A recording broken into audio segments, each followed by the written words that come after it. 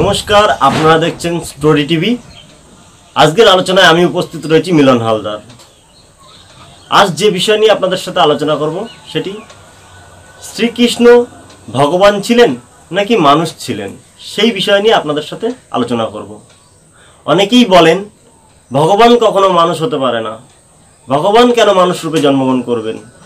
এরকম কথা অনেকেই বলে থাকেন। আজ তাদের জন্য ভিডিওটি।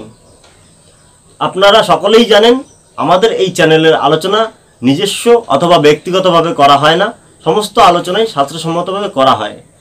তো আজকে আমি আপনাদের শাস্ত্রের থেকে প্রমাণ দেখাবো মূল মহাভারত থেকে। শ্রীকৃষ্ণ মানুষ ছিলেন নাকি ভগবান ছিলেন?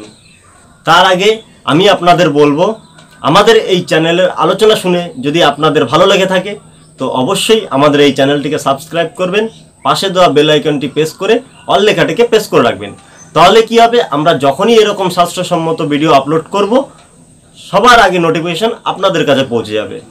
তো আর কথা বাড়াবো না। আসুন, আমরা শাস্ত্রের মধ্যে যাই, মূল মহাভারতের মধ্যে। দেখি সেখানে কি বলা হয়েছে। শ্রীকৃষ্ণ ভগবান ছিলেন নাকি মানুষ ছিলেন? এটি দেখুন। মহাভারতম মহর্ষি শ্রীকৃষ্ণ দ্বৈপায়ন বেদব্যাস পূর্ণিতম। আশ্বমেধিক পর্ব। এই মূল মহাভারতটি যিনি অনুবাদ করেছেন, তিনি হচ্ছেন শ্রীমৎ হরিদাস সিদ্ধান্ত বাগিস ভট্টাচার্য। এই গ্রন্থটি প্রকাশ করেছেন বিশ্ববাণী প্রকাশনী থেকে। এই মূল মহাভারতটি যারা এখনও দেখেননি, তাদেরকে বলছি, সম্পূর্ণ মহাভারতটা যে কত বড়, আপনারা শুনলেই অবাক হয়ে যাবেন।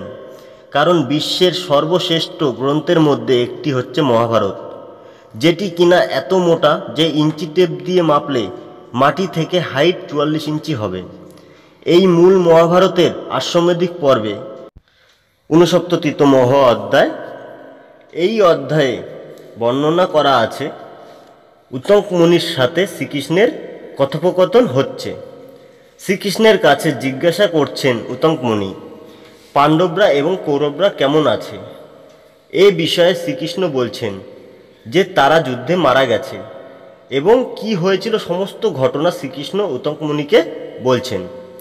তো আসুন, আমরা এই অধ্যায়ের ষোলো নম্বর শ্লোক থেকে নিয়ে কুড়ি নম্বর শ্লোক দেখুন, আপনাদের আমি দেখাচ্ছি। এই হচ্ছে মূল শ্লোক। পাঠ করছি আমি, শুনুন। ষোলো নম্বর শ্লোক। ধর্মস্থ সেতুং বারামি চলিতে চলিতে যুগে তস্ত জনি হং প্রজানং হিত কমায়া। এবারে সতেরো নম্বর শ্লোক শুনুন। যদত্তাহং দেব বর্তামি ভিগ নন্দন। তদাহং দেবত সর্বমচরামি ন সংশয়। এবারে আঠারো নম্বরের শ্লোক। দেখুন।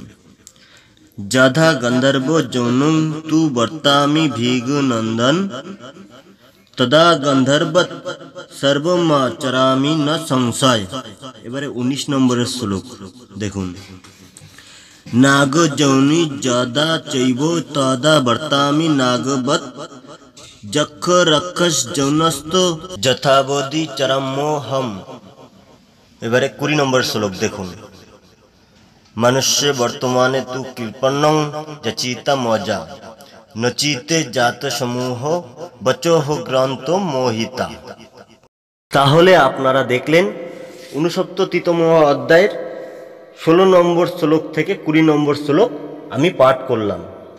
এবারে আসুন, এর অনুবাদ কি করা আছে? অনুবাদে আপনাদের আমি নিয়ে যাই। এই হচ্ছে ষোলো নম্বর শ্লোক থেকে কুড়ি নম্বর শ্লোকের অনুবাদ। আমি পাঠ করছি। আপনারা দেখুন। ষোলো নম্বর শ্লোকের অনুবাদ। এখানে বাসুদেব বলছেন, আমি সেই সেই জনিতে প্রবেশ করিয়া লোকের হিত কামনায় বিভিন্ন যুগে ধর্মের সেতুবন্ধন করিয়া থাকি। এবারে সতেরো নম্বর শ্লোকের অনুবাদ।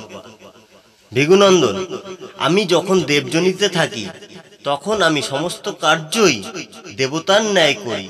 এ বিষয়ে কোনো সন্দেহ নাই। এবারে আঠারো নম্বর শ্লোকের অনুবাদ।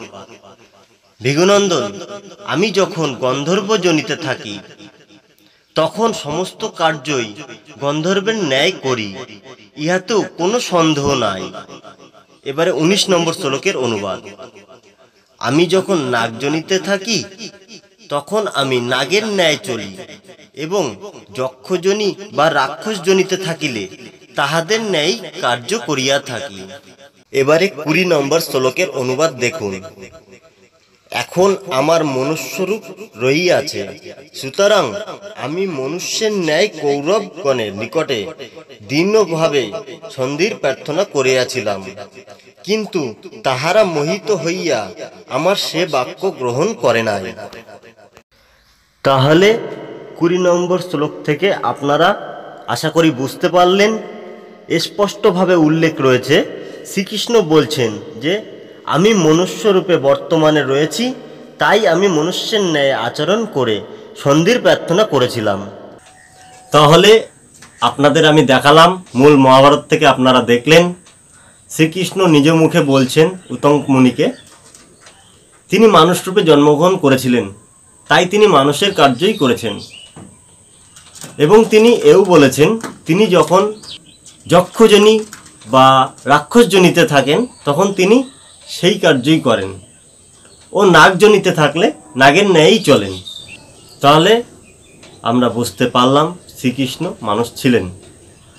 যারা বলেন, শ্রীকৃষ্ণ ভগবান কেন মানুষ রূপে জন্মগ্রহণ করবেন? ভগবান মানুষ হতে পারে না।